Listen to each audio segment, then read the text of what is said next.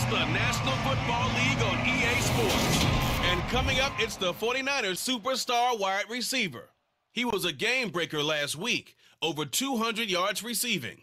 It's the 49ers and the Chiefs. All that and more coming up next. Well,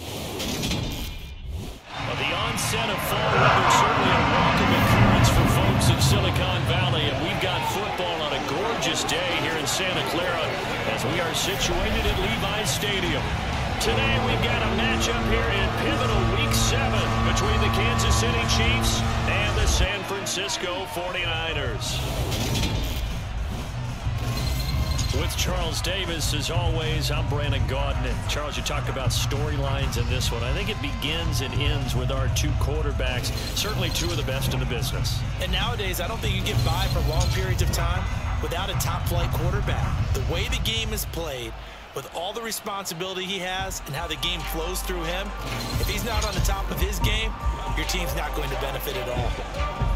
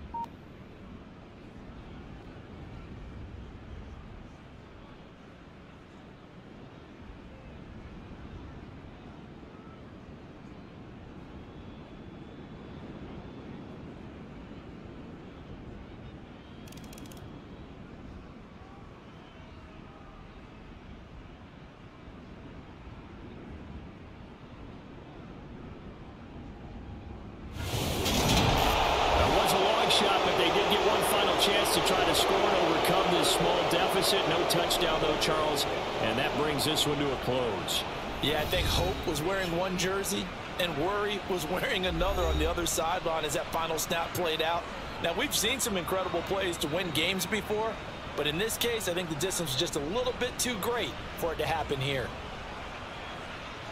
So for Kansas City, the win moves them up to 5 and two now on the year. And they'll be able to enjoy this one through the bye week before they get back at it again. Meanwhile, for San Francisco, they fall a game under the 500 mark at 3 and 4 through seven games. There, they'll look to regroup next week as they head to L.A. to take on the Rams.